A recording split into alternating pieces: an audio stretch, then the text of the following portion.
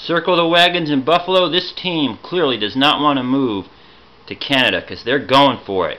Not only do they draft Sammy Watkins in a year where most analysts didn't think they were one player away, but now they trade for running back Bryce Brown from the Philadelphia Eagles. This guy is a combination of speed and power that is rare.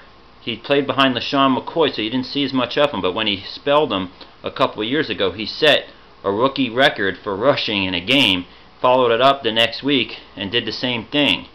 Bryce Brown is going to make the Bills a better team. They're going to have some play action going with Sammy Watkins with a running back like Bryce Brown in the backfield. So the Buffalo Bills give the Philadelphia Eagles a fourth pick next year. Does that mean the Eagles still want to pick another running back later in the draft to replace Brown? Maybe. Of course, they brought in Darren Sproles, so that's all you really need behind LeSean McCoy. They might need a bruiser, kind of a fullback type player. Speaking of, the New York Giants just drafted a running back of their own, Andre Williams, out of Boston College, a Heisman Trophy finalist. This guy also a combination of power and speed. He can break away for long runs more than his body would appear. He's a bruiser. He breaks tackles. He's kind of a one-cut guy, but that's what Tom Coughlin likes.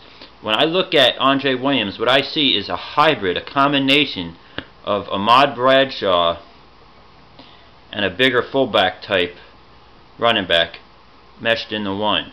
So he's an all-around typical New York Giants running back, someone that will help Eli Manning in the passing game, protect him in pass coverage.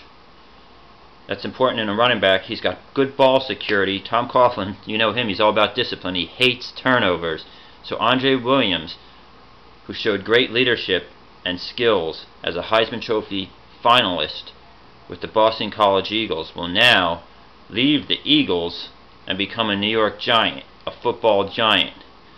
But more importantly, the bigger news right now, right here, is that Bryce Brown, I've got to give my thanks for contributing to the Philadelphia Eagles season last year. He came in and played very well. He showed that he could hold on to the football. So he's trained for you, Buffalo.